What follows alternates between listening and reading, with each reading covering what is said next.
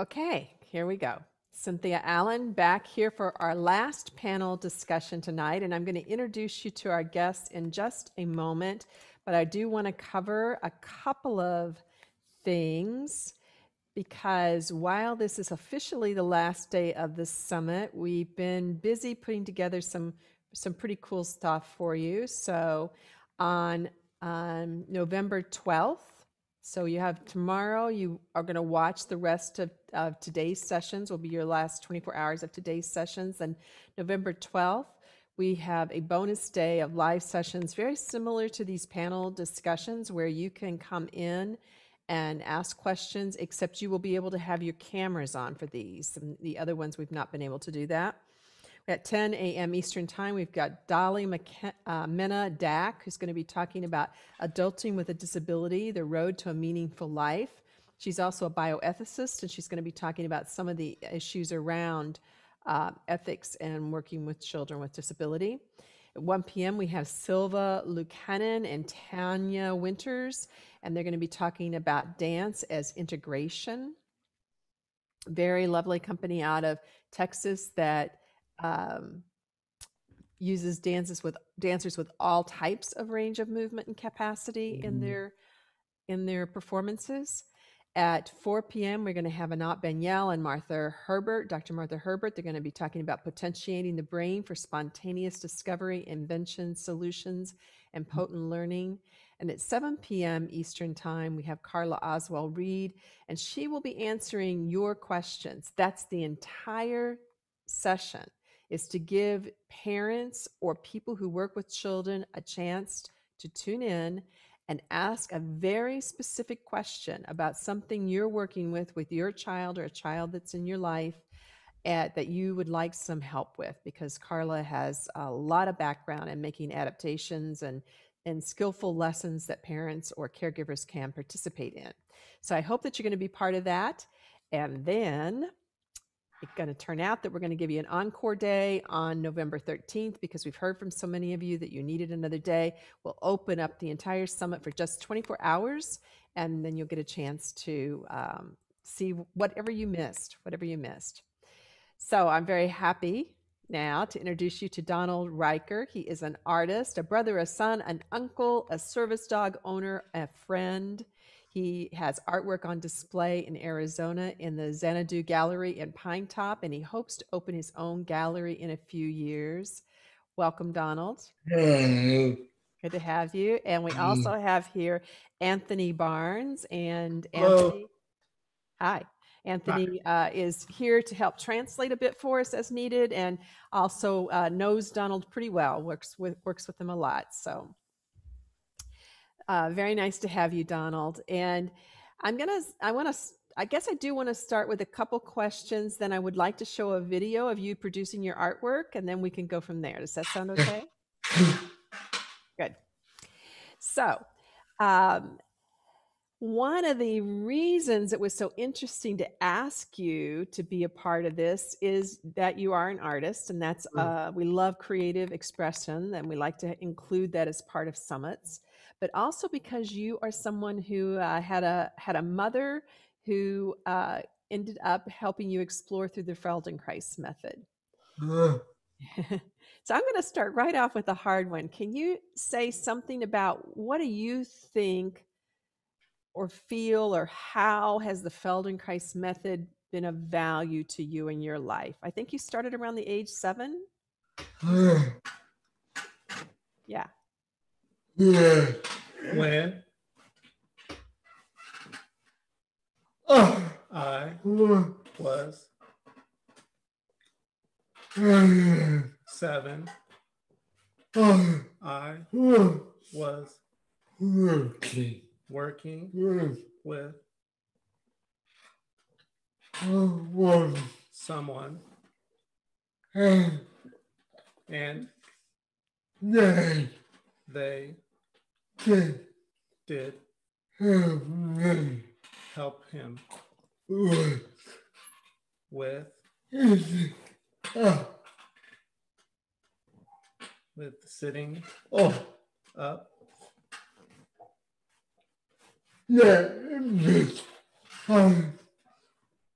That. The. First time. So when he was young, um, that was a he had difficulty sitting down. So a friend of his um, helped him sitting up. You with the method, right? I As I recall, tell me if this is wrong, you're, you had a substitute physical therapist who was also trained in the Feldenkrais method. He's saying yes. Uh-huh. And then, and, the, and you got the first experience of really sitting up, which is pretty darn cool, right? Age of seven, sitting up, fantastic. So you uh, continued to have the Feldenkrais work, and I think also probably some of the Anat Baniel method. You're at least your growing up years. Okay, great. Okay, so we have like a little um, snapshot of, of why we are particularly interested in you for the summit. So now, uh, and then we also say we, his mother, Andrea Bowers, was scheduled to be with us and she's sick. So that's uh, why you see Andrea missing and you see that Anthony is uh, stepping in to, to help us uh, fill in at least some of the gaps that Donald's unable to maybe express easily. So let's take a look at Donald's artwork and his process of producing art. And then we can come back and start to ask some more uh, meaty questions. And if you've just come for the first time tonight to a Q&A, what you do, or to one of these panel discussions, is you put your questions in the Q&A, and then I'll start going through them, along with some questions that people submitted ahead of time, or some of my own questions. So here we go with that. It's a video that's about um, four minutes long, and I think it's very worth watching.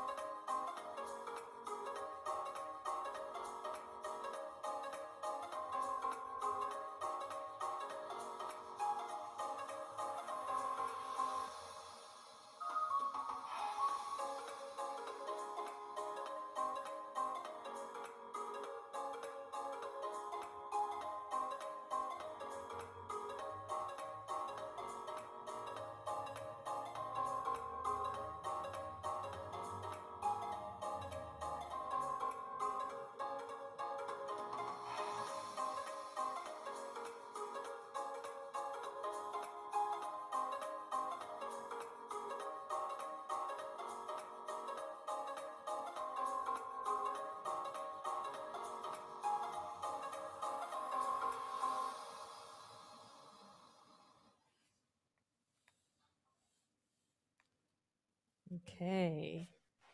Let me close that window. I want to share something different with you, which is just to get a chance to see a little bit of the artworks that we're talking about. So I'll click on just a few pictures here so we can see something a little bit larger. As we saw, Donald was in the process of creating in that particular one. So I'm not sure, Donald, is this a recent or an older one with your oranges? Oh, Older one? Older?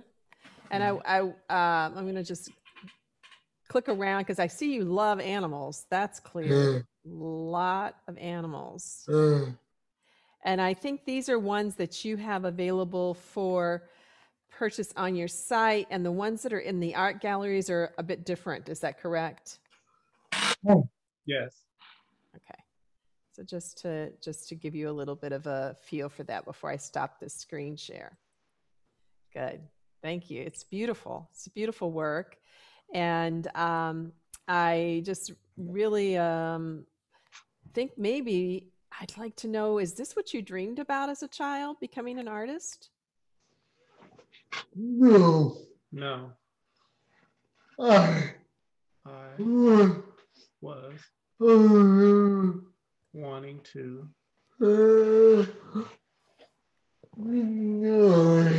going to be a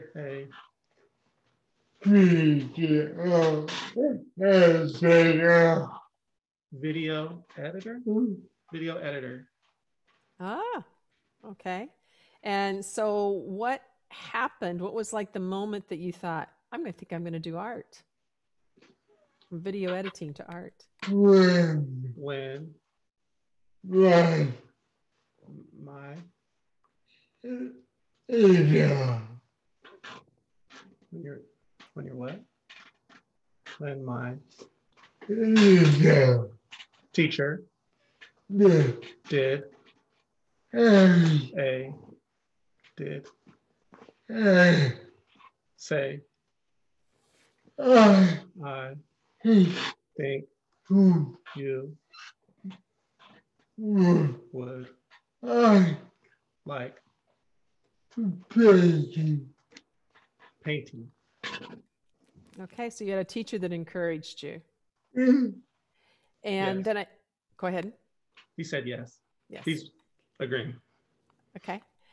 And um, I believe that you had a family that was pretty resourceful. Yes. And um, and and you wanted a headset, but you guys couldn't afford it, so you began to get used to using the is it a construction hat that you use? uh, Yes. yeah, that you adapt. It's uh, fantastic. Okay, good. So we're going to start going through some other questions. And Anthony has told me that some of these questions are things that he uh, helps Donald answer on a regular basis. So he may, you may see uh, sometimes Anthony answering them because they already have an answer that they use out in the public all the time. And other times, um, Donald will be answering and Anthony will be uh, taking the time to translate that for us. So just so you know what's happening there. So one of the um, questions that came in from uh, some of the people that it, that had sent in questions ahead of time that weren't going to be able to make it is one was that very super curious about your relationship with your mother and what do you admire about her most and what do you wish she could have done differently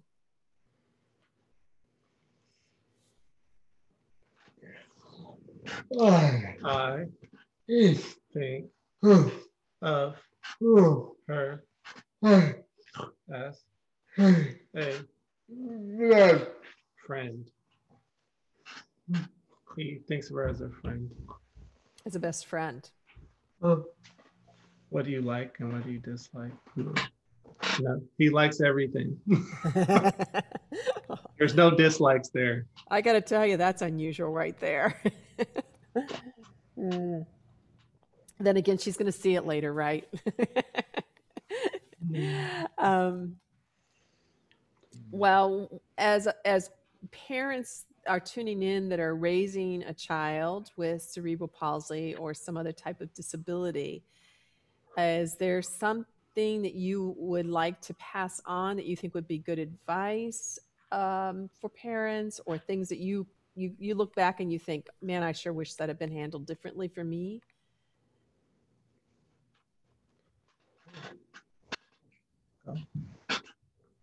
Um,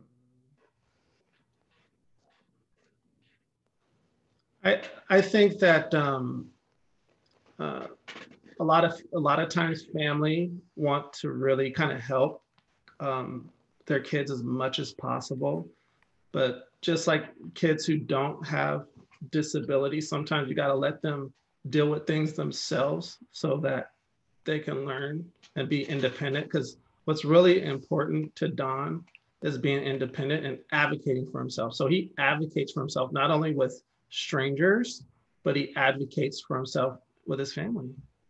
Mhm. Like he he's not he does not have like a victim. He has every reason to probably blame the world or anything for his his his disability, but he doesn't. He genuinely doesn't. Um, he accepts who he is. He accepts um, his disability, and he is one thing I like about Don, and he's very resilient. Okay, like of course people can paint with their hands. Of course, people some people paint on their feet on the ground. I mean, I've seen oil painters who do it on the ground with their feet. But he said, you know what? I don't care. I'm gonna use my head. And he just kept on hammering away and hammering away with this art. And um, I think he's mastered it. I, he can paint better than I can, and I have more ability mechanically than he does. And it's impressive. Everybody who sees his work just loves it. Mhm. It, it, it, I mean, I would love to see some of it in person. Uh, it, it shows up very well uh, on video as well, though, or on the on the site as well. Someone, uh, Pat asked, "What is the name of the tool you use to draw with, and where is it sold?" What the? the hard, I fuck, bought a hard hat and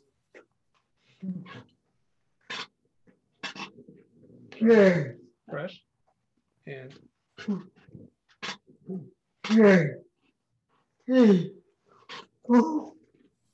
it on, taped it on. Yeah, just go. Okay. Yeah, he bought a hard hat and brush and um, put it on. It's his own concoction. Okay, so the it's just a regular. It's not like a special drawing tool or a special brush. It's just that you attach it in a special way. Is that correct? Okay. That's correct. correct. Okay. Sarah asks, how do you feel that your art has been expressing what you need and want? I believe that's her question. How do you feel? She said it's, but I think she means art has been expressing what you need and want. Good. Good. Okay. Um, basically, like you said earlier, he likes to like draw animals and lots of landscapes. So what he he likes to do is he kind of likes to make the abstract. So what if you were to look at his art on the website, you'll notice like there was a green bear. So he kind of like uses the fantasy in his mind and expresses it on the canvas. It's, Yeah. yeah. So that I, I guess art is so I mean art means different things to different people. So that's a that's a challenging question. Uh-huh. Um, but I think based off of what we've talked about in the past, that kind of accurately describes what the answer to our question is. Does you have a do you have a predominant emotion that you experience while working with your art? Good. Say what's first other? Good. Good. People Yeah. get Good. Going. People get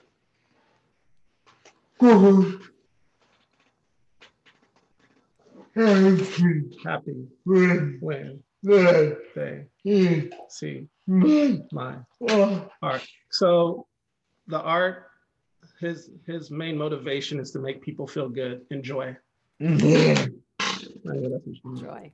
It takes me time to register. so. That's definitely what comes through to me is is joy and pleasure. You know, some people do art to um, feel uh, feel some kind of expression of some kind of deep inner emotion. And it seems like the deep inner emotion that's coming forward for you is joy as as you paint and pleasure.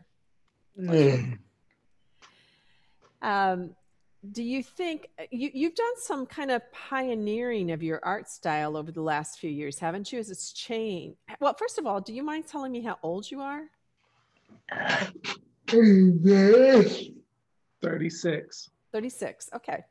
And it's, I, I believe you had some kind of major shift in the way, the style of your painting or the way you were doing it in the last few years. Could you describe something about that for us?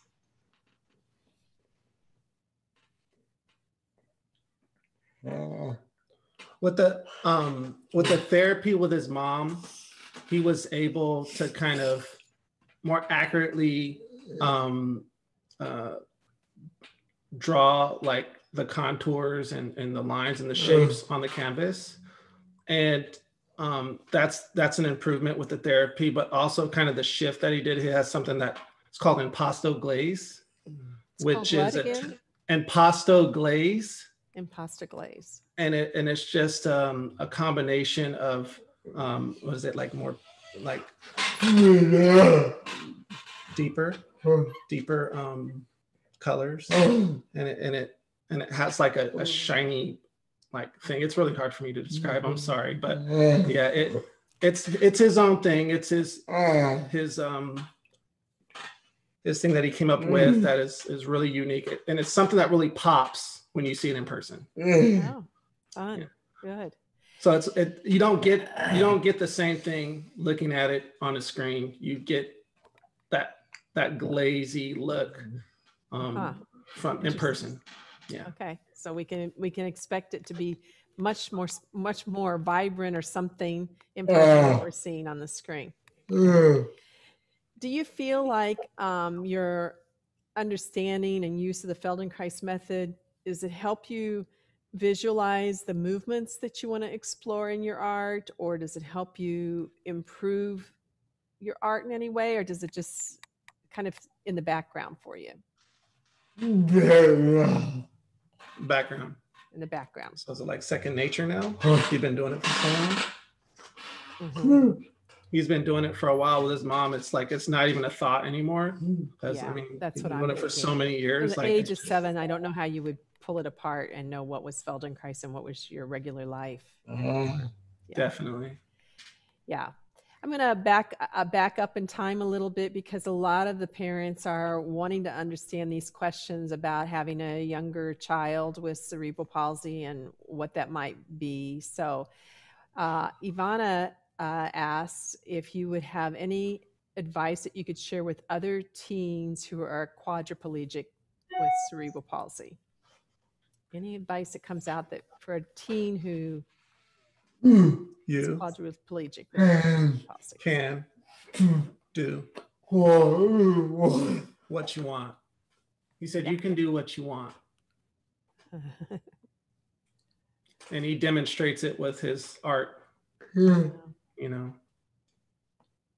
It seems like when I read some of the parts about that you've written on your website that this sort of resourceful uh, spirit was really strong in you from the get go, and trying to come up with build things, do things, find unique ways. That that was something your family all supported. Huh. his family his family is very supportive in his his art endeavors hmm So, um, Mar asked, "Do you? How do you set up your life to live independently? What have you got that allows your independent living situation that maybe we might not know about?" Can you elaborate Yeah. So, do you have? Uh, I, I see that you have Anthony with you right now. Is that just somebody who's just dropped in, or is An- someone like Anthony with you most of the time, or do you have a i have aides. He has aides. So with me. Okay, he has aides with him, And I live didn't. I in leave. He leaves by himself. He lives by himself. So he has aides. Um, he also has a service dog. He also has a, a circle of support. Um, he actually used to live in the Bay Area, uh, Bay Area, downtown San Jose, and um, he actually lives a real life. He goes to the bars. He has a nightlife. Great. Yes, I love it. Thank you for breaking our conceptions right there. yeah he um and i'm there with him and at first when i first started working with him it was more like i had to be off to the side but he embraced me and um it was fun. Um Pete, he's got a whole network of friends. Of course he moved we moved um to stockton california just recently. So it's a whole different um, vibe and atmosphere and he wants to bring the, his art to this side.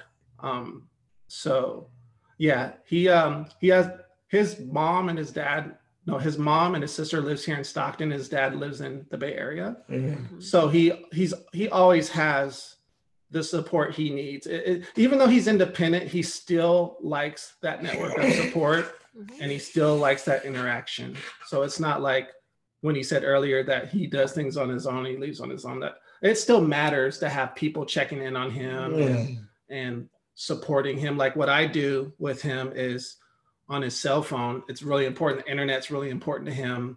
Mhm. Um, is I do a lot of communication via text message. So he has a phone. He pays his own bills, right? Um, and um, I've just have you guys ever seen that movie Auxiliary with Kevin Hart? I haven't. It's a great movie, and it's about um, uh, a person who is limited and does use a motorized chair, and the other guy just kind of assists him in his daily activities. Don completely lives his own life, just like me, just like you. Um, he's breaking those um, those sub those stereotypes of people with uh, cerebral palsy, like they can't do anything on their own. He's completely independent. He tells me what to do. Like he advocates for himself. He is his own human being. I just, if I can make that any more clear, it's absolutely true. Okay. So uh, you stay if you spend the you're you're physically capable of spending the night by yourself. You don't have an aide 24/7. You just have it during the day. He does. He does have an aide 24 7 because he needs to use, Of the rest yes. Yeah. He, he, he gets assistance for things because he's, other than, other than that, he can't, you know, get out the That's, chair fi- and use that's the fine. Yeah, absolutely. That's what that's the kind of questions are. And that, so then, of course, you're other than your service dog and probably needing a little extra room in your apartment for your wheelchair to get around or to get in and out, ease of getting in and out of the shower, things like Mhm. that. That's the kind of standard setups in your apartment. There's not something really super special that you needed to have. Not at all. Okay, good. The only thing that's different than his apartment than other apartments is the size of the doors. It's got to be accessible so that his wheelchair can get in there. So um, that's important. But other than that, his apartment's no different than any other apartments Mhm. inside this development. Did you have a lot of pain growing up, or do you have a lot of pain now? No. And is is is there such a thing as like something you described as a s- as a child that was like a really bad day for you? Uh, would you did you have bad days that just you just thought, gosh, I don't know, No. you weren't that just wasn't you, was it? Uh-uh. Okay. I do know though from talking to you that one of the things that you have an interest in is how uh, how many things we I don't want to say this. How many things uh, those of us who are in caretaking relationships with someone, like a child who has a, a disability, are kind to constantly come up with ways to help the child. And uh, you kind of have like some very stock advice I heard you give out in our our pre uh, summit talk with each other, which I thought was interesting. Would you like to share that now? Do you remember what it is? Jog his memory. It's Ask the Child. He said it a couple of times. Oh. Oh. Ask the child. So while we were trying to problem solve these things, Donald says, ask the kid, ask the child what they think, what they Mm. want. And I thought that was like, uh, you know, one of the most um, important things that perhaps we could have heard in the summit is is and as a piece that I think has been we've talked a lot about respect we've talked a lot Yeah. about acceptance we've talked a lot about um, being right with the person where they're at but I don't think we've ever said and uh, to this point actually ask actually ask so I really Mm. really really appreciate it. Uh, Uh, Pat asks, is there anything in particular that you had as therapy or equipment as a child that helped you grow into an independent adult? Like, how did this, how did this independence happen for you? Was it, I yeah. got Hey, a with that, wheelchair with, with with, when hey, I with, was with, two. He got a wheelchair when he was two, and that was instrumental in his independence. Mhm. Oh, the motorized wheelchair, right? with, Yeah. and you've always been interested in building things, it looked like. uh, uh, So this, uh, the idea of, um, you know, b- making your own hard hat, or I would assume other things that that, that kind of came along childhood, the creativity. Mhm. uh, How do you uh, recommend people do advocacy in school in particular? I don't think you've been in traditional physical therapy since you were seven. Is that correct? Physical therapy or occupational therapy? Uh, But you have, I would think you have had to advocate for yourself in school situations or in the medical realm in some way. long, Um, his his mom was definitely the mouthpiece for him in school.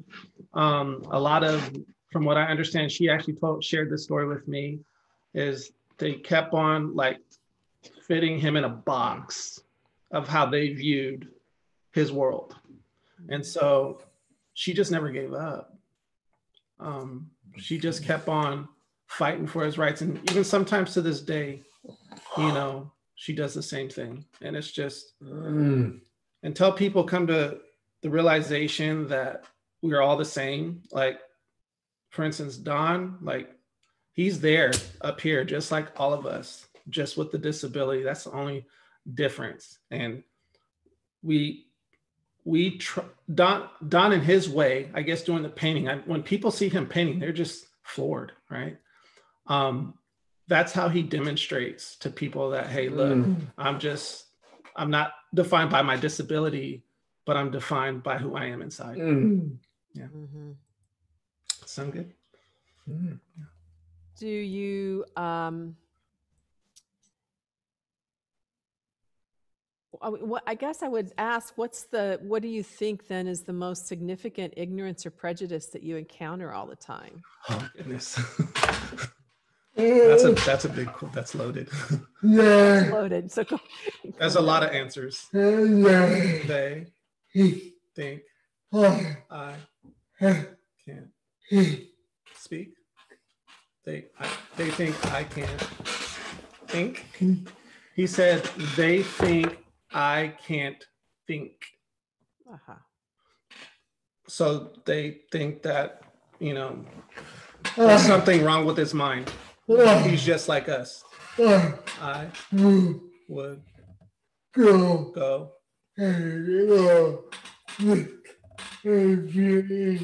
I would go everywhere. I will go, go. hey, I would go. Oh, hey, free, Hang out. What's the first side of that word? H. A. I would go.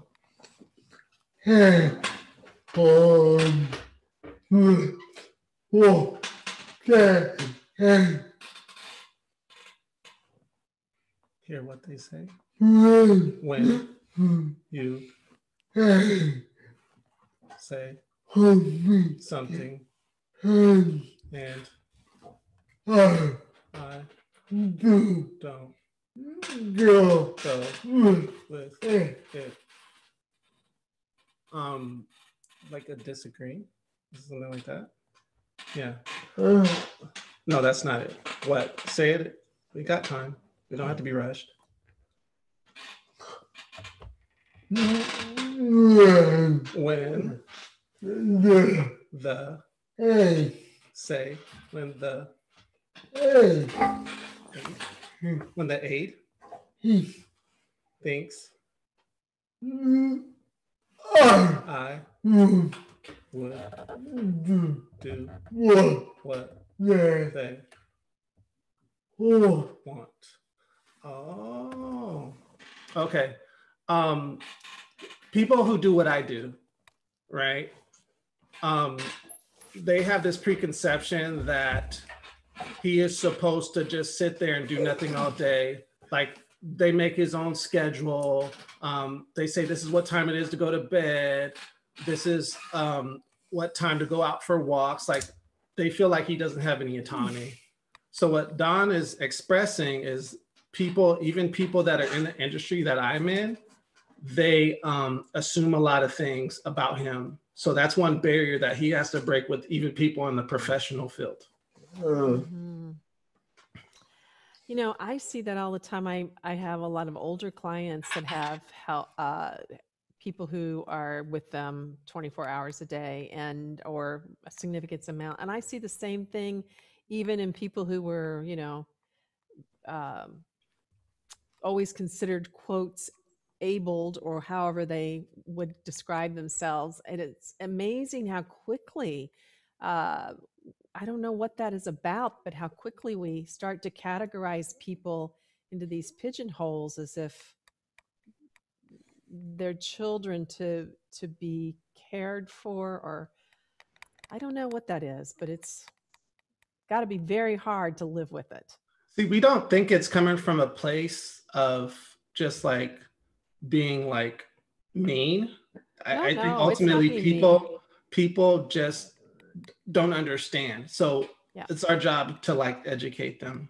Yeah. Advocacy, you know, no, I don't think they're being up for mean- mean either. I think they're they're totally think they're being helpful while being while actually being disabling, right? And that's and that's a really tricky situation. It's a really tricky not to be mean to them when they're actually their heart's in the right place. It's just you're limiting him. Yeah. Yeah. Yes, very much so. Donald, do you date or have any love interests? Is that interesting to you?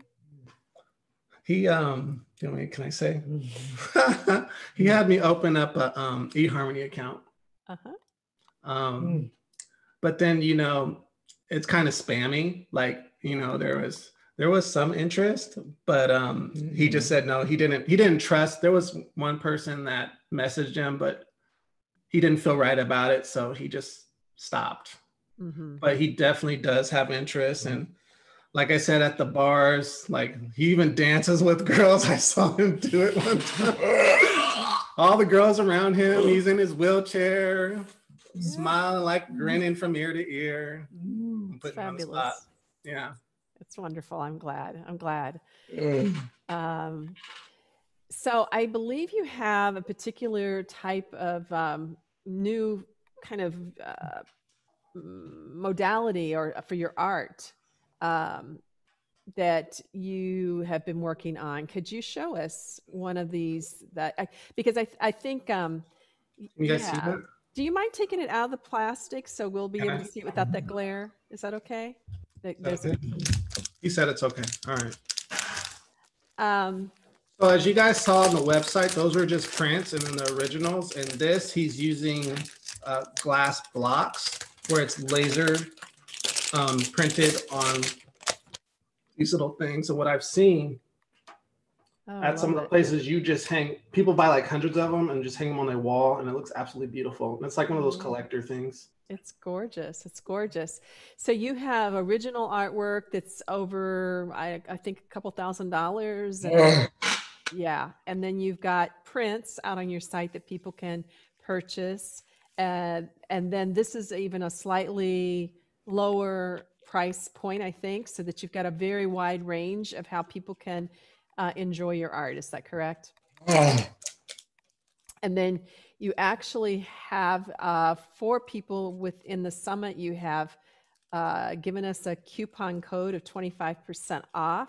That'll be below the replay of the video, by the way, the code, and then the click over to Donald's website. And within that, you can um, uh, you can only use it once, but you can use it towards everything that you put in your shopping cart. So you could do like a- a little house redecorating, or you could do your own um, Christmas shopping if that's your thing. uh, Uh, can you say a little bit more about that glass process? Is that how, how does that work? Do you know? Can you say anything about it? How you got there? That's from Sarah. She would like. uh, hey, Richard, It is hey, a Richard, bah, Mm. um. There's a company that he works with eh, that um puts his um kind of like prints, the same thing. So they take his original piece and then they actually transfer that image onto these glass blocks. And uh, some and uh, sometime some ah, I put uh, them I put a a city yeah, on here. Hmm. Oh, like the this right here? Hmm. Oh, you put oh he puts a um a saying like on these ones they Oh, have these little um affinity things on it. So I don't know if you can sign like I guess the name. Yeah. Oh, can you guys see? I know the, lights. I- the I lights kind I can kind of see it. So that's the name of the person. That's the yeah. So like on this side it says winter knows to hush still. So like you can actually read on there. Oh, can you Um, read what's in all the way around then? Yes, it says listen so the soul can speak. Then it says winter knows to hush still. And it says, I guess this one goes to Angie Wellen Crosby. uh, So we opened this and this is somebody. Oh, I oh, think that's who wrote that. oh okay. All right, good. All right. I I had a I had a little sneak peek about that. Oh. Um, and and then Donald's signature is also on there. okay. It, uh, it's on, also on the the acrylic block as well. Yeah. Good. Thank you so much. Um, I think what what is it that you feel uh, either Anthony or Donald that we haven't covered that maybe we should, you know, tell people about that that that maybe we're just not intelligent enough to ask or be curious about. Mm. I just think um, that I guess when you're in public, um, I think just interacting with people with disabilities is huge. Um, I, I don't think you should really be scared to do it, but just do it with like understanding that don't come at them. Almost just treat them like a normal person right? Because we're all normal. Well, is there such thing as normal? I just like when we're out in the public, like people act like they want to help them. You know what I mean? And it's like, I I think it's more like it's okay. Just say hi. He knows how to do his life. You know, so just. I mean, when people are in public, it's okay to be nice, but at the same time, just don't be too overly nice. And I, I, I hope you guys understand what I mean by that because it just it comes off as awkward and weird. It's kind So, I- of presumptive, I, think, isn't it? It's kind of a pre- presumption that the person's just been waiting for you to show up to help them, which is somewhat unlikely.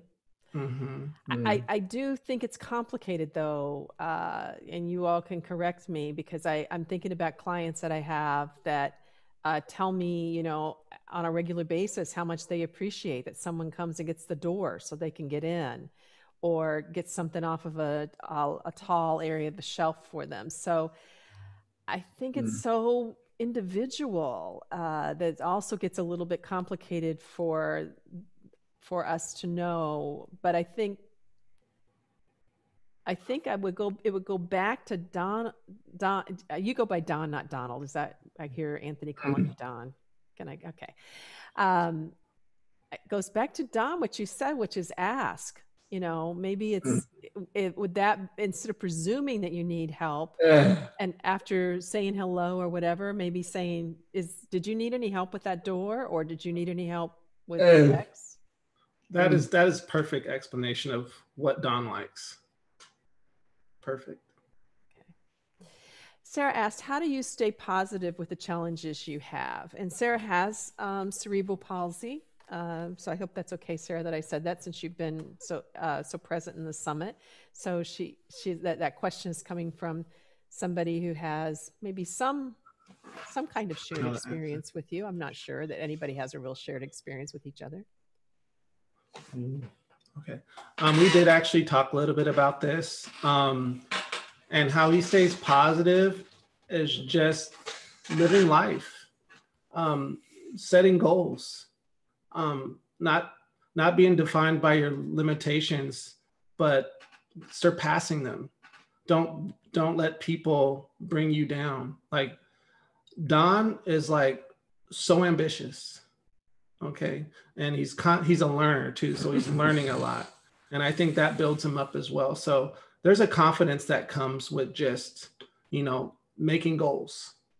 Hmm. you know so goal making Mm. like being a being a painter and, and surviving in this business it's very cutthroat. And there's like it takes a lot of um, commitment to be on this trail of, as an artist because it's just trying to be found out and actually kind of etching your place in his- history so Hmm. um, make make your goals big and even if you don't make even though if you don't hit those goals even if you just get a little bit below it it's rewarding so i Mm. think i think the thing is just he's always making goals Yeah. and he's sticking with them and Uh-huh. and that's what everybody should do because it, it just builds you up Uh-huh. so hopefully that answered your question It Mm. does.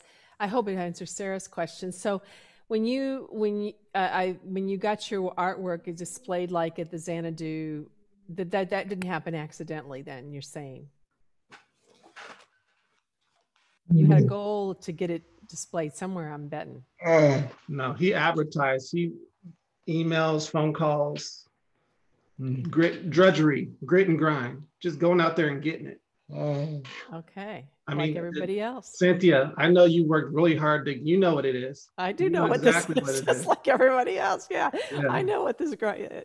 And then, um, as you think about having your own art studio or gallery, I think is what you called it in the, uh, yeah. you're you're starting to at least dream about what the steps that that might be, or maybe you're actually even further than the dreaming. Mm. He has his own business Yeah. already. Mm. um, Yeah, that's clear that he has his own business. I, I- he's ma- I- he's man he's manifesting it right now. Yeah. he's make he makes little changes little tweaks Yeah. like moving to different places. His name is in uh, san jose. He goes to the college out there. You went to college uh, san jose san jose state?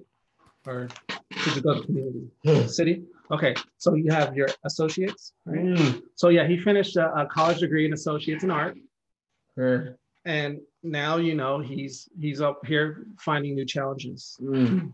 yeah so he's not a he's not afraid to make little adjustments Mm. um to get where he needs to be Now, I know you uh, watched or read the transcripts for the four presentations today, and I think the one presentation that maybe you had the most response to was Brett Schaub's. Brent. Schaub's, who is uh, had a problem with hearing for most of his life, and I think you really mostly noticed the difference in yours personality and Brent's personality. And you talked about because Brent talks about um, really taking a lot of years before he accepted his disability or accepted help. Mm. Does that describe you? Mm. Not a, it does not describe you. So you so even though you wouldn't want strangers coming up and offering help, and it, just because they like feel sorry for you or or assume, you're not also adverse to taking help. Mm. Yeah, and like um although his his disability is visible, so he feels like it's a little different than Oh. um Brett Schaub's. Like people can see it, like they're looking at Right. him. You know what I mean? When he's out in public. So he Yeah. so Mm. every disability is different Mhm. and we gotta accept the diversity of disability and diversity of people because everybody has their own situation. Mhm. So he doesn't want to be clustered um, with other people. He respects other people and their Mhm. disabilities, but he doesn't want to feel like he's a part of a group of disabled disabled people. Just to be straight up, Mhm. yeah. Mhm. He's but he's bet he when um, we were in San Jose, he was really clear with about that with me. Mhm. That he, although he appreciates and understands that he's a part of a community, he's his own person and he doesn't want to be defined by that community. Mm. Mm-hmm. Mm-hmm. Well, and I, I think that the one of the early things that you you said in so many words already tonight, but said to to me uh, in the pre-summit planning was was that if you if sort of like if you had a mission, which you you don't you you you you're an artist and that's what your thing is is you're an Mhm. artist. But if you had a mission, it might be to kind of convince people like me or try to make clear to people like me, myself that you're not you can do a lot you can do a lot Yeah. Definitely. Mm. and that this idea of a wheelchair or anything else stopping people does not is is a is is mostly a fallacy Mm. thank you Yeah. Okay, well, I'm thinking I'm going to let you guys go and I'm going to wrap up a little bit about these other presentations because I don't think that part was that interesting to you. So I'm going to let you off the hook on that. Mm. And then uh, um, just let you know how what a pleasure it was to have you here, both of you. I really appreciate you you being with us. Um, I think it'll be very helpful to all of us to uh, get a chance to examine our own uh, preconceived ideas and and let things sort of bounce around in our head about what we might be assuming or uh, and also assuming eh, for parents assuming about the future of their for their children that they might be you know that they might be assuming things that aren't that are really aren't true about the future of their children so i, I think it's very helpful what you've done for us here today don okay thank, you. Thank you you. It was great. Thank you very much. I would everybody say goodbye to to Don, and I'll wrap you up a little bit with these other discussions. Mm. Okay, so let me just get a. I do want to say something about the other discussions, even though we ended up not having a normal panel talk that was extremely powerful. But I also don't. Oh, also for people who've been using these as uh, kind of a way to get an overview of what else has uh, been presented during the day, because I know that some people are actually watching them in that way. And these were four incredible talks again today. I want to start actually with um, uh, Brent Schaub, since I already mentioned him. Brent Schaub is a Feldenkrais practitioner who uh, has a hearing uh, challenge, and he is putting together um, a process. So not only does he describe some about his journey, but he's putting together an incredible process to help people who are either deaf or have a hearing impairment uh, uh, at a, hard of hearing the capacity to do awareness through movement lessons online and not be sitting there watching the captions because you can't do awareness through movement lessons really and read the captions because you can't stay in your own sensation. So i think for those of us um, even if the if you even if you don't have someone in your life who fits that characteristics. I think watching his process around how he's thinking about um, bringing lessons to this this population to make them accessible, right? The whole issue of accessibility um, is really inspiring. Um, we also had Carla Oswald Reed, who gave, I think, one of the most uh, practical presentations of the summit with a tremendous amount of information about what you can do with um, your child with cerebral palsy in a way that makes your life easier and your child's life easier. I just thought it was a really incredible uh, presentation of practicality and um, uses everyday life experiences for you to be able to uh, help your child. It would apply, however, uh, although there were some things that were very specific that would apply more to a child who has spasticity than in other situations. Most of what she shared, uh, the principles and even a lot of the ideas are just incredibly usable, and I just highly encourage it. Uh, Audrey Deschednes, oh my gosh, that is a heart touching, inspiring in a deep, deep way. Um, these challenges of uh, having a child in your life, and in her case, her child lived to be in her 30s, but was thought that she would die fairly young. And so she outlived the expectancy by quite a lot. So she died a couple of years ago. And I thought Audrey did a really beautiful job for parents who are either starting out or in the middle of a journey with a child where you're very concerned about what their future might be, of showing us what a rich life she and her daughter um, have had together and uh, how her daughter found meaning in life and pleasure in life, and also how Audrey herself found the supports that she needed, the uh, communities that she needed, how she has chosen to use advocacy as a way to empower herself, and how she found the strength to navigate waters that she didn't think she would ever have the strength to. It. She said at one point, it, it's hard, I think is how she said it, and it turns out it's all okay. It was very, very wonderful for me. And then Carol Henderson has a five point plan that she calls for after lockdown. So, but we have been getting notes from parents saying that they would like more help on how to deal with their emotional state. Carol Henderson has got a huge amount in that talk on how to work with your emotions as well. And really, really powerful uh, set of steps that you can use whether it's uh, after lockdown or you're at some stage of uh, concern or grieving or anger or whatever, however you define that in your life around, it could be around anything really. I thought it was a really helpful five point plan, but it's of course stated here within the context of uh, this particular summit. So usable in that way. I'm going to look to see if anybody else has any ending comments or questions over here in the panel before I say, get ready to say goodbye. Again, I hope that you will uh, be back with us for the bonus day sessions, and they're all going to be good, just excellent. Do the ones you can. But if you're a parent who is looking for more detailed information about what you can do with your child, Carla will be widening her scope